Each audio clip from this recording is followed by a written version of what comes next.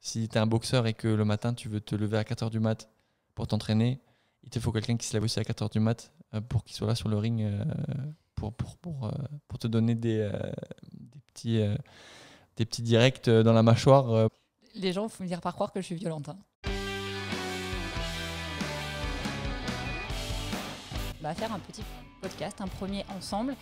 Et il y a un sujet qui nous a paru évident, en fait, euh, qui, aujourd'hui fait qu'on est assis l'un à côté de l'autre et qu'on est en train de bah, partager cette première expérience avec vous.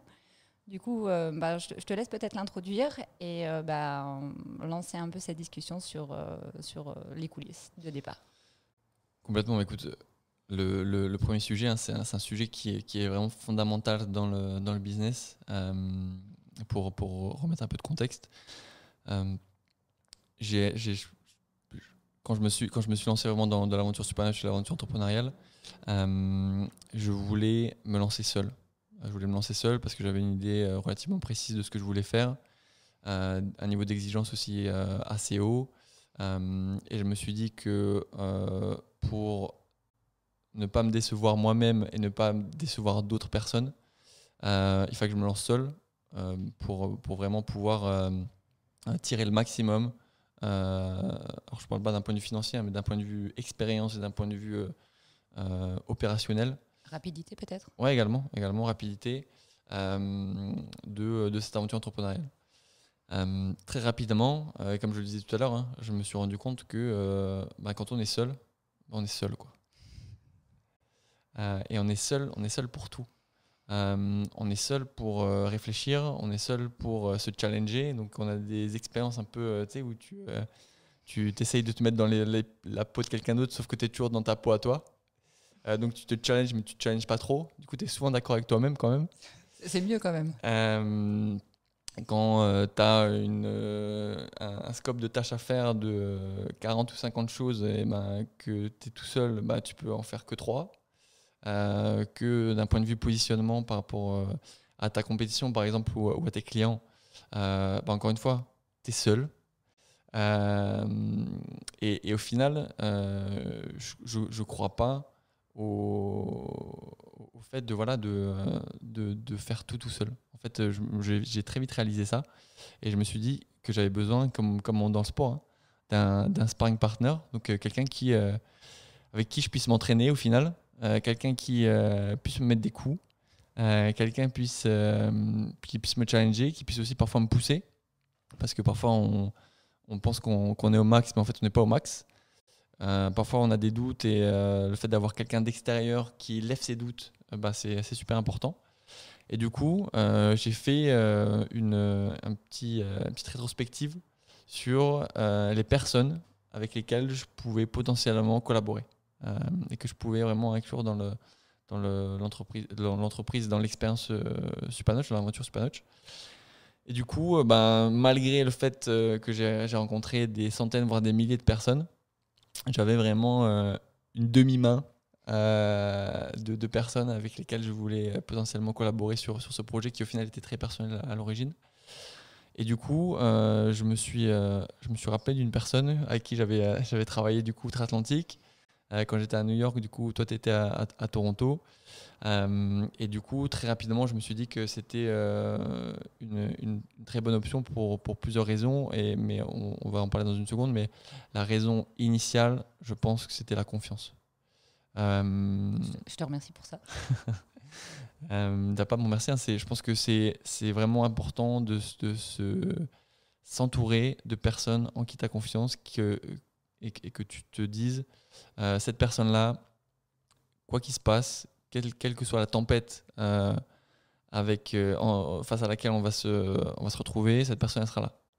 Et donc voilà, c'est pareil, c'est le sparring par- partner, c'est la même chose. Si tu es un boxeur et que le matin tu veux te lever à 4h du mat pour t'entraîner, il te faut quelqu'un qui se lève aussi à 4h du mat pour qu'il soit là sur le ring pour, pour, pour, pour te donner des, des, petits, des petits directs euh, dans la mâchoire euh, pour, euh, pour te renforcer un peu ta, ta musculature de, de cou. Quoi.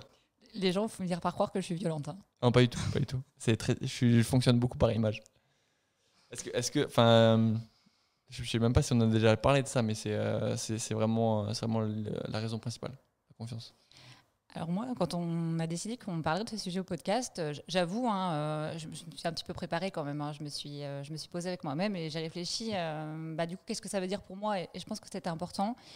Et après quelques minutes, et surtout après ben, les quelques mois d'expérience qu'on a travaillé ensemble, il y a une chose qui m'a paru importante, que j'avais pas du tout vue.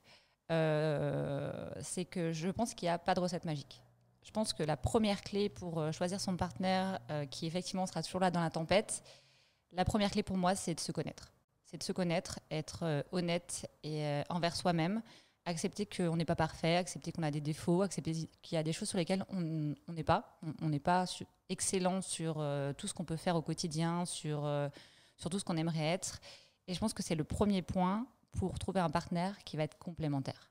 Et, pour moi, aujourd'hui, après ces mois, c'est la clé en fait. C'est la complémentarité qui fait que bah, là où je, là où je, je n'y suis pas, Jean-Mathieu va y être. Et j'espère que là où potentiellement tu n'y es pas, ben, moi, je vais y être. On, le sait souvent après, au final. On le sait après. Hein. On, fait ce podcast dans le bon timing. Hein. Euh, là, on a euh, des, premiers mois d'aventure euh, ensemble. on a passé une période, les derniers mois, un petit peu compliquée confinement, euh, premier client, erreur, remise en selle. Euh, je pense qu'effectivement, c'est le bon timing pour parler de ce podcast parce qu'on peut faire cette, euh, rétrospective. Pour, revenir à ce que tu disais, c'est vrai. Enfin, je pense que la, complémentarité, elle est, elle est essentielle. je te, l'ai déjà dit, hein, parfois, tu, vas dire des trucs en, en, meeting, je vais me dire quelle catastrophe, il, faut, il faut absolument que je rattrape ça, du coup, je vais rattraper ça. Et, euh, et parfois, moi, je me dis, euh, je me dis, ah, j'ai pas du tout été à la hauteur. Euh, et je vois que toi, tu, tu rentres dans le game et, et, tu dis la petite phrase qui va bien. Du coup, je me dis, elle, est vraiment smart. Et, et du coup, en fait, c'est super rassurant. super rassurant parce que tu te dis, à chaque fois que l'un des deux, alors dans notre cas, on est deux, mais ça peut, ça peut être plus. Hein, à chaque fois que l'un des deux ben, est un peu down, ben, l'autre est là. Quoi. Et ça, c'est super important. Après, il y a d'autres choses qui me sont venues en tête parce que j'ai fait l'exercice. C'était mon, premier constat. Euh, j'ai ressorti peut-être des choses, des choses clés qui sont pour moi euh, importantes et euh, qui devaient forcément trouver leur écho. sinon, je pense que ça ne fonctionnerait pas. Et la première chose, je pense, c'est la communication.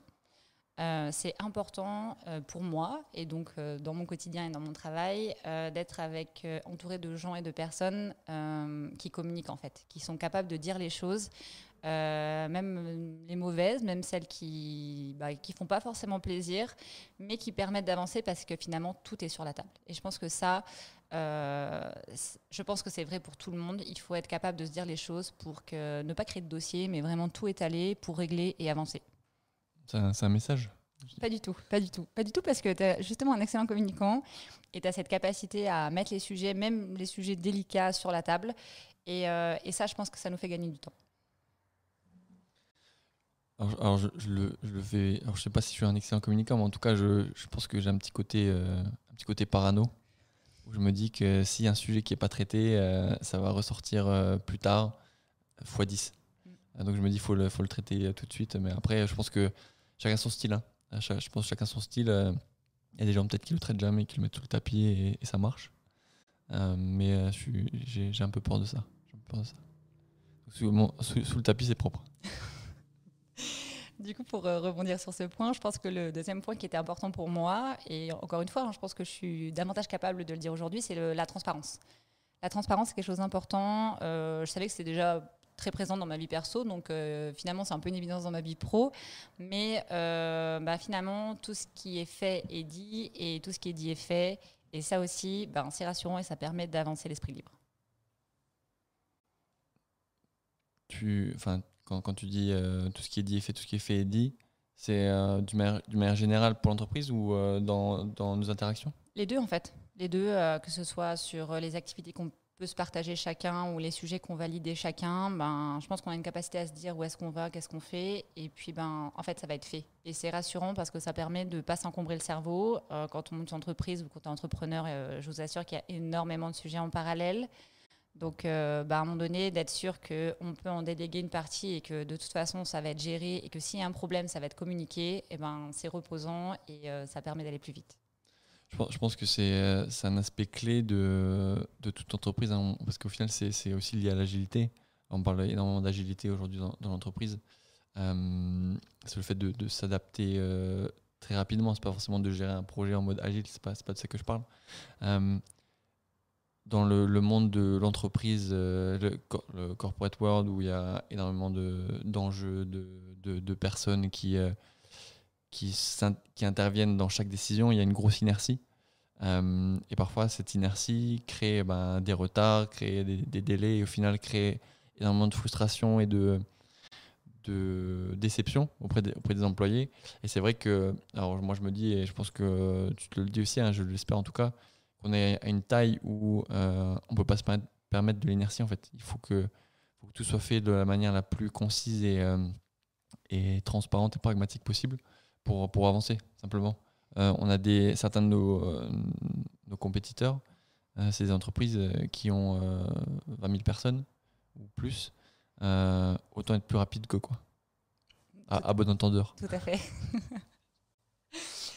Il euh, y a un autre point qui est important pour moi, et euh, là, il faut que je te remercie parce que j'y étais vraiment pas, mais je pense par contre c'est nécessaire pour son entrepreneuriat, c'est le rythme et la rigueur.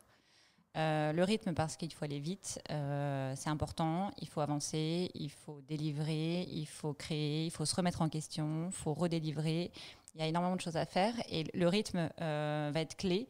Et on s'en est aperçu les derniers mois. Mais le rythme, des fois, je pense, peut euh, appeler à un peu moins de rigueur parce qu'on doit faire beaucoup de choses très vite. Et en fait, la clé, bah, dans tout ça, c'est la rigueur. C'est la rigueur parce que tout ce qui est fait doit être fait au bon niveau, euh, en permanence, peu importe le sujet. Et ça va rebondir sur, du coup, l'exemplarité. L'exemplarité qui est pour moi la, la, conséquence en fait, la conséquence, parce que ça, donne l'exemple et ça impulse aussi une dynamique d'entreprise qui euh, devra rester pour toujours derrière. Alors, je ne sais pas si, euh, si c'est un, sujet pour, pour tous les entrepreneurs qui, nous regardent ou tous les, toutes les personnes qui, qui nous écoutent, mais le, que ce soit, je pense, dans une start-up ou euh, d'un point de vue pro, du manière générale, hein, si, si, des personnes sont également dans, leur bureau en tant qu'employé. Euh, la, rigueur, c'est vraiment au final votre, euh, votre marque de fabrique.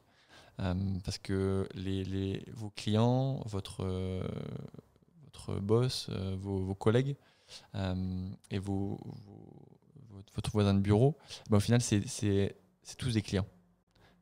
et vous, vous allez fournir à ces clients une prestation ou un service et via la prestation ou le service qui va être rendu, ils vont consciemment ou inconsciemment vous, juger. Euh, et ils vont juger la qualité de votre travail. Donc au final, plus que jamais, je pense que la, rigueur aujourd'hui, c'est pour nous quelque chose de, de, capital. Euh, bah parce que c'est ce qui va faire notre, notre réussite ou notre échec en fait. Hein. Euh, aujourd'hui, on a la chance d'avoir des clients qui, qui nous font confiance, avec lesquels on, commence à avoir des, relations euh, partenariale, donc c'est vraiment le, le, but. Hein. Euh, mais ça n'aurait jamais été possible sans rigueur. Euh, il y a, c'est naïf de croire que on peut réussir quelque chose de sympa. Alors quand je dis sympa, c'est de correct, de, de structuré, d'intéressant d'un point de vue business, en ne pas travaillant et en n'ayant pas de rigueur. Rigueur euh, interne comme externe, hein, parce que je, pense que pour beaucoup de gens, ça, peut couler de source euh, à l'externe, ça veut dire vers ses clients pour délivrer, mais euh, en fait, la clé, c'est que si on est rigoureux en interne, il y a 100% de chances qu'on le soit à l'externe. Alors que si on se dit que seul l'externe peut suffire, je pense que c'est là où on peut faire rapidement l'erreur, parce que rapidement, ça, va, ça risque de dériver. Le dernier point, et qui était important pour moi, je pense que c'est l'ambition. Je pense que c'était d'avoir un partenaire qui a une vraie ambition, qui veut se dépasser, qui veut aller plus loin, qui veut apporter plus. Et euh, je pense que ça, c'était ma dernière clé pour, euh, pour le partenariat successful. Euh, donc je pense que c'est effectivement le, le, bon mot de la fin, juste pour, pour récapituler. Si vous lancez, déjà lancez-vous, ne vous lancez pas seul. Et lancez-vous avec la personne euh, qui est complémentaire à vous et une personne que vous connaissez. Je pense que c'est super important. D'autres choses? Non, je pense que c'était le bon mot de la fin. Euh, on vous souhaite euh, ben, une bonne journée. On espère que ce premier podcast vous a plu et on vous dit à bientôt. Stay tuned.